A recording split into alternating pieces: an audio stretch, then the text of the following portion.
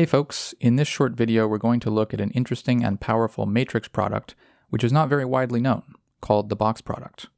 If you're excited by this, be sure to like and subscribe and all that crap, click the bell, honk the horn, whatever. First, we need to establish some notation. We write n with square brackets for the set of integers from 1 to n, and I just call this n. We write nk for the set of subsets of n of size k. For example, 3, 2 is the set of two element subsets of the set of numbers 1, 2, and 3, as seen here. nk has size n choose k, that is, the number of ways to choose k elements from n elements, which is given by this familiar formula. Note in particular n1 has size n, and nn has size 1. Each set mu in nk, being a set of integers, is ordered naturally, we use the subscript notation seen here to denote the elements of mu in order. The first element mu1, the second element mu2, and so on up to the kth element mu_k. We order the set nk itself lexically, or lexicographically if you want to be fancy, like words in a dictionary. It's easier to understand this from an example rather than a formal definition. For example, in 3-2, the sets are ordered like this. The set consisting of 1 and 2 comes first, followed by the set consisting of 1 and 3, and finally the set consisting of 2 and 3. To determine the relative ordering of two sets, we start by comparing their first elements. The set with the smallest first element comes first. If the first elements are equal, then we compare the second elements to see which comes first, and so on. Hopefully you get the idea. Now let A be an n by n matrix. To keep things simple, we assume the entries of A come from a field of characteristic 0, like the real or complex numbers. For sets mu and nu in nk, the determinant of the k by k submatrix of A with rows indexed by the numbers in mu and columns indexed by the numbers in nu is called a minor of A of order k, denoted with vertical bars like this. I read this as det A mu nu. Note that every kth order minor of A is of this form for some mu and nu in nk. As an example, we compute a second order minor of a 3 by 3 matrix. Be sure to pause the video and make sure you fully understand this example. We've studied minors in prior videos, but in this video we go deeper. We start by collecting the minors into a matrix. The kth compound power of an n by n matrix A is the n choose k by n choose k matrix A to the k, consisting of the kth order minors of A. For mu and nu in nk, the mu nuth entry of a to the k is the minor det a mu nu. A few comments about the terminology and notation are in order. First, you probably find it mysterious and suspicious that I'm calling this matrix a power. We'll see why that makes sense in a moment, so just relax yourself for the time being. Second, we put angle brackets around the exponent k in the compound power to distinguish it from an ordinary matrix power. Third, notice how we're using the elements of nk themselves to index the entries of the power. This is natural because the entries of the power are minors. Finally, we're using parentheses with subscript and superscript to denote an entry of a matrix, while we're using vertical bars with subscript and superscript to denote a minor of a matrix. We'll use these conventions throughout the rest of this video. As a simple example, notice that the first compound power of A is just A itself, because the 1 by 1 minors of A are just the entries of A. At the other extreme, the nth compound power of A is the 1 by 1 matrix whose single entry is the determinant of A. In particular, this means the determinant of A is just the trace of the nth compound power of A, a fact we'll make good use of later. Compound powers allow us to elegantly express many facts about matrices. Let's take a look. First, the rank of A is just the largest non-zero compound power of A. This follows from the determinantal characterization of rank which we covered in a prior video. Recall geometrically, if we view A as a linear transformation of a space, then intuitively the rank is the largest dimension of a volume A preserves in the space, in the sense of mapping to another volume of the same dimension and not lower dimension. This suggests that the kth compound power of A when viewed as a linear transformation itself, operates on k-dimensional volumes using A. This intuition is correct and can be made precise in exterior and geometric algebra, but we won't say more about that in this video. As another example, the Cauchy-Binet theorem has a strikingly beautiful expression in terms of compound powers. Recall this theorem tells us how to compute the minors of a product of two matrices in terms of the minors of those matrices. In the language of compound powers, the theorem just says that the kth compound power of a product is the product of the kth compound powers of the factors. Although we've stated this for two factors, it extends to any finite number of factors. This result is very powerful. It also shows us that the compound power operation behaves algebraically like an ordinary numerical power operation hence the name. In fact, it behaves better than the ordinary matrix power operation, because matrix multiplication is not commutative. It follows immediately from this theorem and the prior theorem that the rank of a product is at most the rank of each factor, an important and useful fact that we note in passing. Given that the compound power behaves algebraically like a power, this raises a question.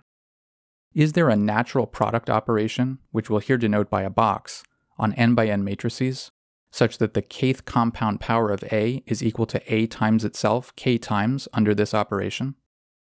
If so, what is the definition of the k-ary product of arbitrary n by n matrices A1 through AK? To figure this out, first recall from the Leibniz expansion of the determinant that the mu nuth entry of A to the k, which is just the mu nuth minor of A, is given by this formula. On the right-hand side here, sk denotes the set of permutations of the numbers 1 through k, and we're summing over all permutations sigma in sk. Minus 1 to the sigma denotes the sign of sigma, which is equal to plus 1 if sigma makes an even number of transpositions, and minus 1 if sigma makes an odd number of transpositions. In this formula, the row indices of A are being permuted while the column indices are held fixed. But we can equally permute the column indices while keeping the row indices held fixed, which looks like this. Now, recall that we're trying to generalize this operation from a single matrix A to k matrices A1 through AK. One idea is to simply substitute the matrices A1 through AK into one of these sums in place of the A's, and take that as the definition of the k-ary box product. We could do that, but it wouldn't make for a very nice product operation. For example, if we did that in the second sum, substituting A1 for the first occurrence of A, A2 for the second occurrence of A, and so on, then we only ever be looking at entries in row mu1 of A1 and row mu2 of A2, and so on. So the product defined that way wouldn't be symmetric in the matrices, which wouldn't be very nice.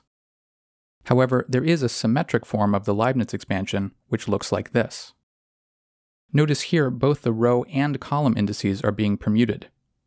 The price we pay for this symmetry is an even larger sum, which we must scale down by k factorial, but it works. It's worth pausing the video to prove this for yourself. We use this as the basis for a definition of a new product. The k-ary box product of n by n matrices A1 through AK is the n choose k by n choose k matrix A1 box through AK with entries given by this formula. Notice this is just like the symmetric Leibniz expansion for a minor, but with the k matrices A1 through AK in place of a single matrix A. By construction, the box product is symmetric, or commutative. That is, we can reorder the matrices A1 through AK any way we want, and we get the same box product. Also, by construction, the kth compound power of A is essentially just the box product of A with itself k times. We just need to account for a factorial factor, which is a small price to pay for symmetry. Let's take the box product for a spin and see what it can do. First, we can prove a version of the binomial theorem for the box product using symmetry. For n by n matrices A and B, A plus B to the k is equal to the sum over P and Q adding to k of A to the P box B to the Q. On the right-hand side here, we're using shorthand notation, which expands like this. This formula is very powerful.